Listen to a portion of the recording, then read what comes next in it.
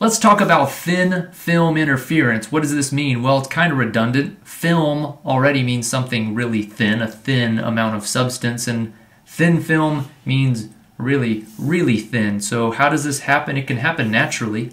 When it rains outside, there'll be puddles of water. And because there's oil left over on the road, sometimes some oil will float on top of the water, and it's often a very thin, small amount of oil.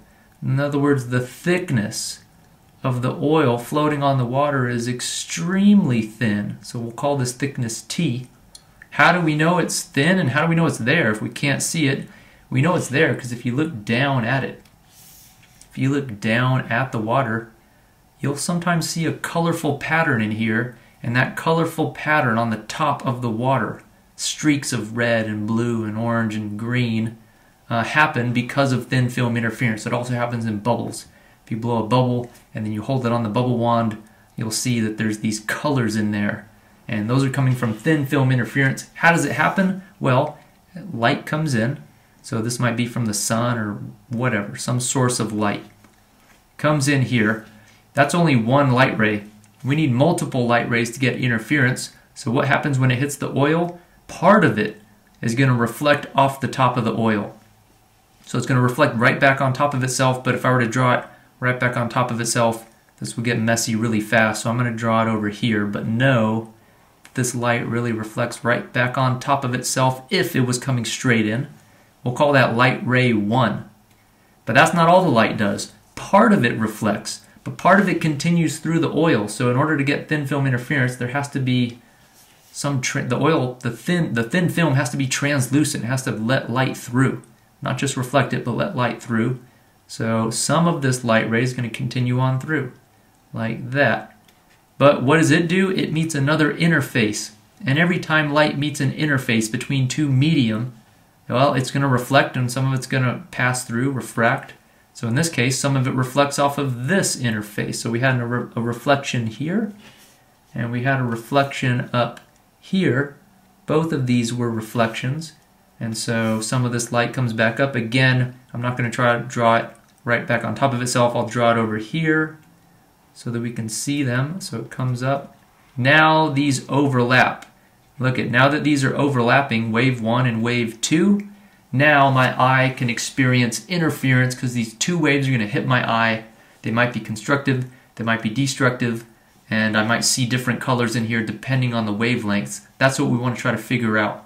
How does the thickness of this oil and the wavelength of the light determine whether this is going to be constructive, destructive, or neither? Here's what we're going to do. We know we're not going to stray from what we know. What we know is that to get constructive interference, when you have two light rays, what matters is the path length difference. So if the path length difference is 0 lambda, right, any integer lambda, you can just call this m lambda if you want, that's going to be constructive. And anytime the path length difference is going to be half integer lambdas, so half lambda, three halves lambda, and so on. If you wanted to, you can call this m plus a half lambda. These are going to be destructive. I guess that doesn't equal constructive, it implies constructive and destructive. Um, but remember, there's a there's a got to be careful. It can be weird here. These are flip-flopped if if there's a pi shift between them. If one of these gets pi shifted and the other does not. If one of the waves is pi shifted and the other is not, remember, if this was the thing with the back of the speakers, if you flip the wires on the back of the speakers, now instead of the speaker wave coming out like that, speaker wave comes out like this. Now, if you overlap these, this condition gets flip-flopped. If you forgot why, go back and watch that video on wave interference. So this is the condition. Integer wavelengths give us constructive, half integer wavelengths give us destructive, unless one is pi shifted. If they're both pi shifted, then this condition still holds. But if only one is pi shifted, you flip-flop these relations and the half integer wavelengths give you constructive and the whole integer wavelengths give you destructive.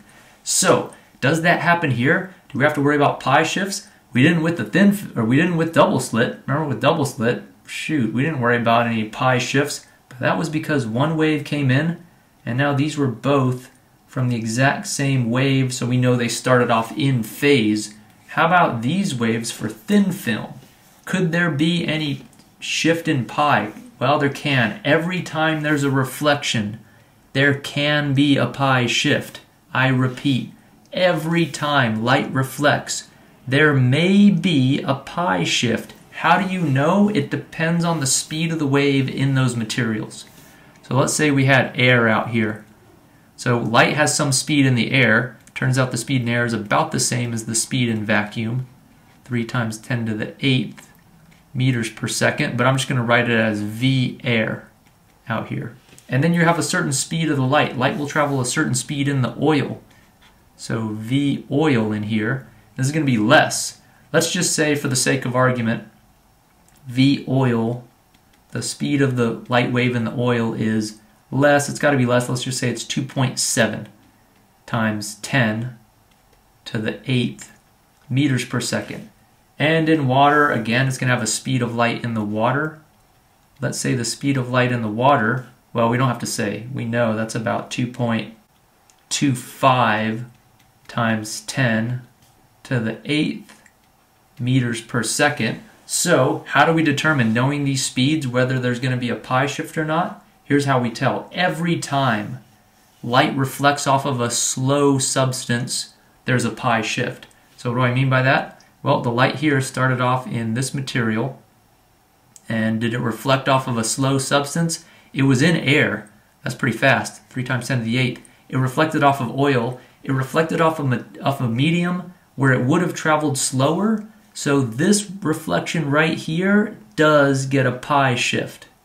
There is a pi shift for this reflection. The light wave that came in, if it came in at a peak, then it's getting sent back out as a valley. And if it came in as this point going up, it'll leave as this point going down. It's going to get shifted by 180 degrees or pi. How about this one down here? Did it reflect off of a slow medium? It did. It was in oil. It would have traveled into water, which is slower than the oil, and so this one also gets a pi shift.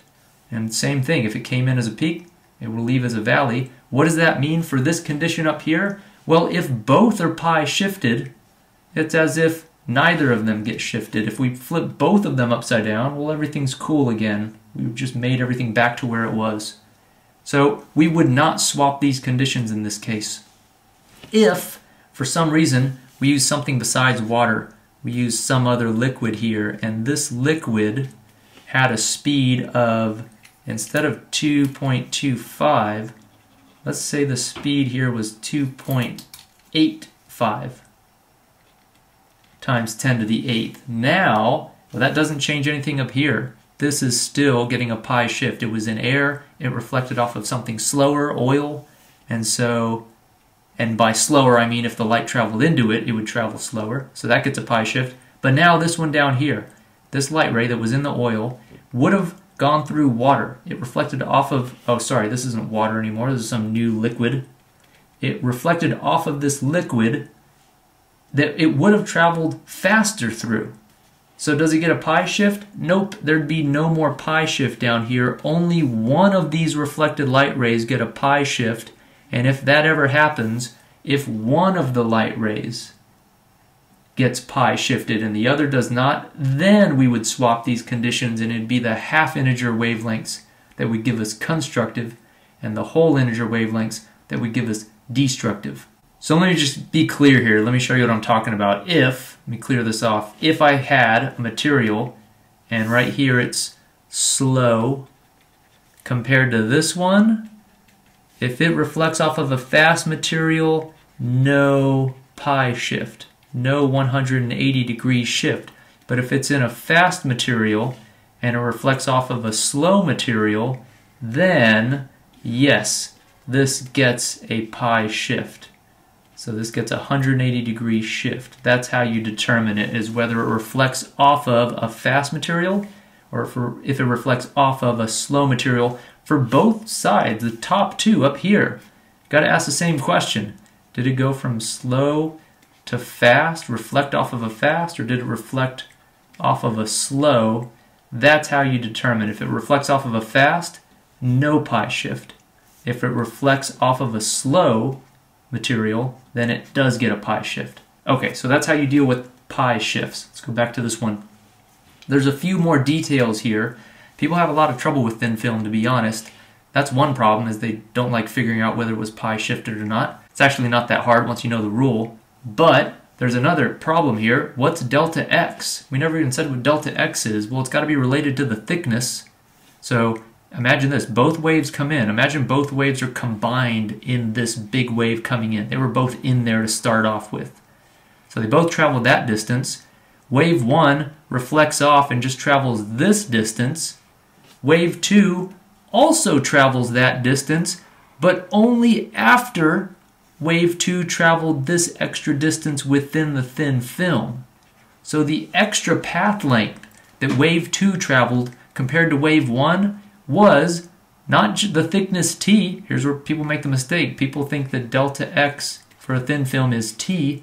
No, the wave 2 had to travel down and then back up. So it's 2t. So this is the key. For thin film interference, the path length difference will always be 2t. So I shoot, I just have to come up here. I know what delta x is.